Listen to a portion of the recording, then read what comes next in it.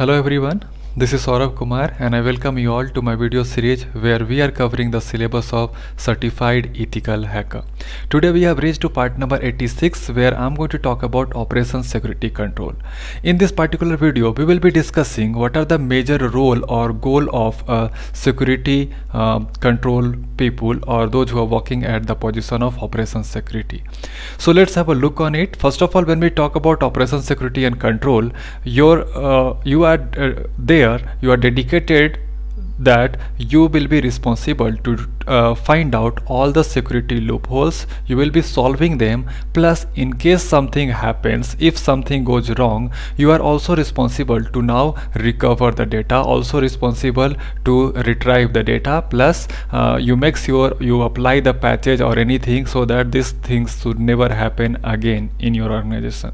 So let's have a look on it. What are the basic goal or task of a operation security is?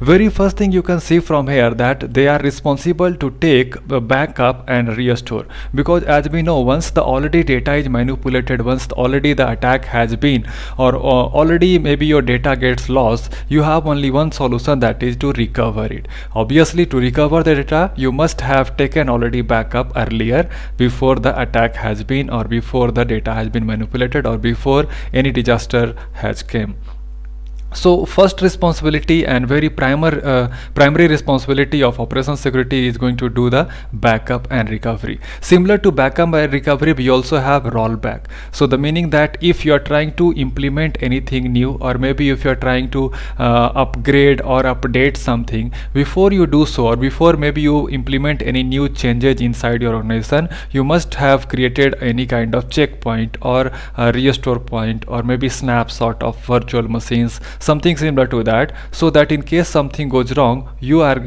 you will be able to do the rollback.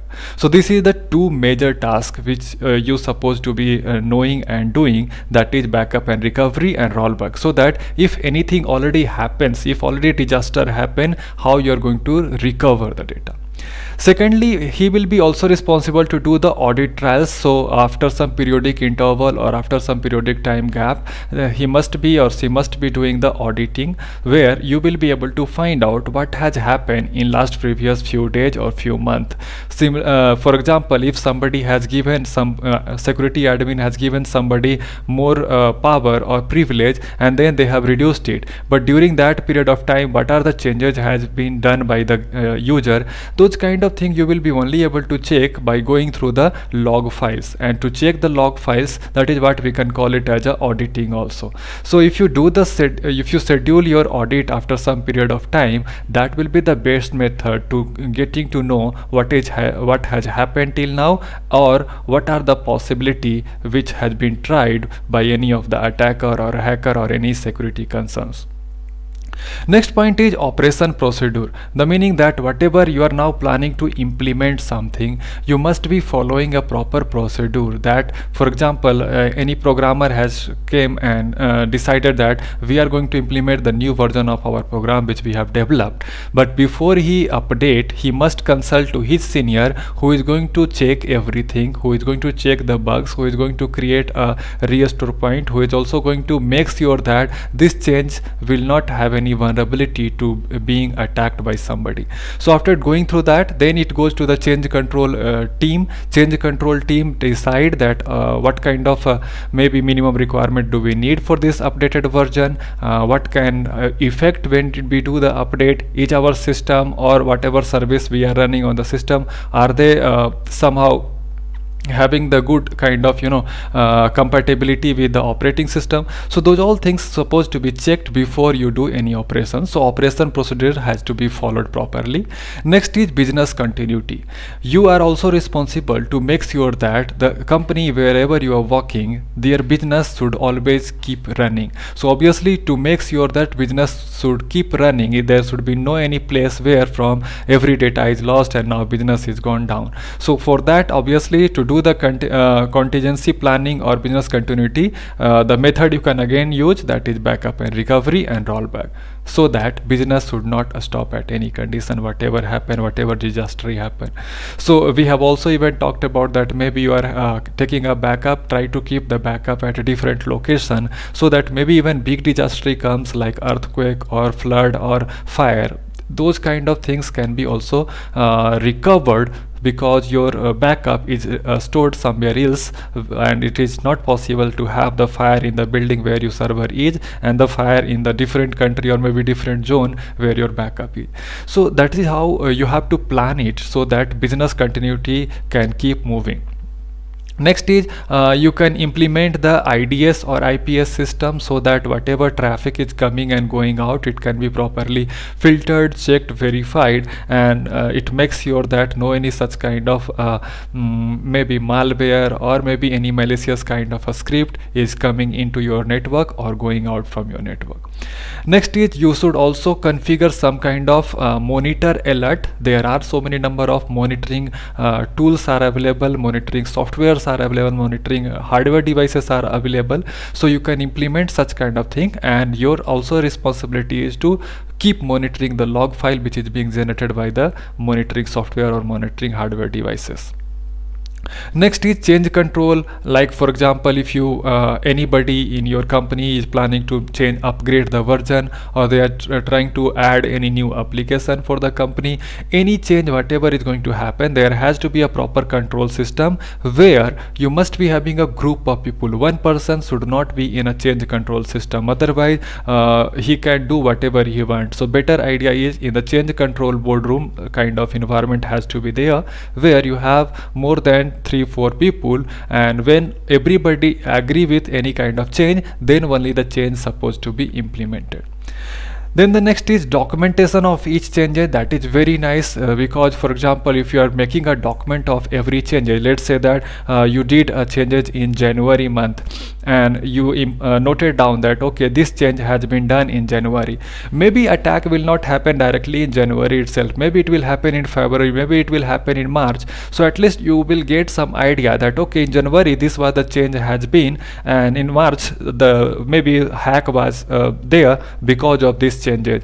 So uh, making a document will give you a proper idea. Plus if any employee leave your organization and new employee comes he will have a proper document to understand what has been implemented in your network what are the changes has been ever done and if maybe any changes has been implemented uh, is there any possibility uh, was it happen sometime that they have rolled it back because of some problem? So those all idea you will have and which will make you uh, kind of more uh, kind of it will give you a strength to think about your next few year. That in last few year whatever the changes we did what has happened because of what. So it gives you a proper record plus it gives you a strength to think about next few year then we have uh, also talked about separation of duty. That is very mandatory thing. And then as I told you separation of duty also uh, increase the chances of security and decrease the chances of any kind of fraud or any kind of bad activity.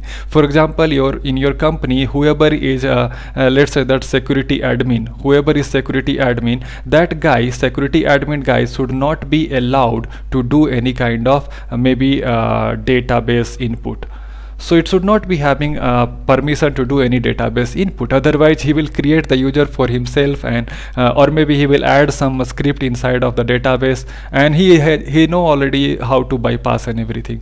So uh, separation of duty means one person should be responsible for very limited area then another person should be uh, limited for another area. For example um, a guy who is working in let's say that uh, security admin he should not be a member of active directory domain. He should not be controlling active directory also. Those who are ma making active directory control or maybe those who are uh, looking for security admin they should not be a part of uh, let's say that those who are doing active directory they should not be part of a team who is managing maybe firewall. Otherwise in the firewall he will add a rule that this particular port you let him pass and then from active directory he will maybe uh, manipulate all the data or he will transfer the data to uh, some of the another attacker. So separation of duty is very mandatory. Even in separation of duty when we talk about uh, whatever your uh, group of people you have where you guys are taking a decision everybody should be present there and without having a proper kind of agreement between all of them no any new changes supposed to be implemented in the organization then we have also talked about already mandatory vacation. Uh, after some period of time you must give any of the employee on a mandatory vacation that okay you go enjoy for 10 days. That 10 days you are not allowed to uh, get in touch with any of the other employee of the same company or you will not be able to uh, come inside the company. So that 10 days he will be completely disconnected from your organization and you can place somebody else on behalf of him to sit on his chair to sit on his uh, place so that he can go on and he can go through all the process what he has done in previous days. He can check what are the responsibility he has and is he fulfilling all those responsibility or not. So this is how the mandatory vacation can also be very very helpful for those people who are working in a operations security department then we have to uh, last but final thing is we have to make a kind of table like this where we are going to judge or where we are going to uh, make sure that what kind of uh, security we have implemented or what kind of functionality we are having. These, these are the functionality preventive avoid detective discover deterrent discourage recovery corrective. So these are some of the function what up to function you have set your security. Like for example physical security. Physical security means who can easily uh, come inside your server room or maybe who can access your firewall physically or who can reach up to your boardroom. So those physical security you can set up to the condition of avoid also. Like for example you are putting a lock that is a kind of avoid. If you are putting a lock and you're only sharing the key with those people who are allowed so this is kind of avoid. Then you can also set some discover. Maybe you are having some uh, scanning uh, device implemented on a physical security base like you have a metal detector and those kind of kind of things. Or maybe uh, you are having on the door you have implemented a kind of thumbprint so that if you put your thumb if you're authorized or authenticated then only you will be allowed to go in. So those kind of uh, thing you can put it as a discover and discourage is something similar like avoid for example on the gate if you see a kind of lock what does it do if you are a thief obviously it discourage you. It, it, let you think that oh there is a lock. Maybe i will not be able to go in. But that is just a discourage. It is not avoid or it is not a stopping you because uh, uh, maybe thief can go and he can break the lock and go in. So lock is just to discourage the things similarly here we can also set some condition which can just discourage or which can avoid somehow or which we can use to discover the guy. And the last is restore. If already attack happens what are the restore option you have? If already physically somebody goes in what is the next so we are having three type of control. We can have physical control where you are uh, talking about physically how and which person is going to allow to go inside the room or touch the server or touch the firewall connect the cable with the switches those kind of thing. Then administrative control which you are going to do like a soft control means you are going to set some kind of um, administrative roles responsibility and all those kind of things. And the last is technically or logical control. Like if you are implementing IDS if you are implementing IPS, if you're implementing firewall. So these kind of things is going to be logical control. If you set access control list, if you set MAC filtering, so those all will be coming in the category of logical control or technical control. So by implementing such kind of control like physical, administrative or technical with the functionality of avoid, discover, discourage and restore, it will make your uh, network, it will make your company more secure and that is what actually the task of operation security team is. So in this video i have tried to uh, demonstrate i have tried to uh, explain about what are the roles and responsibility can be for a operations security department or those who are working in operations security administrative role. So uh, i think this video was informative for you all and i would like to thank you for watching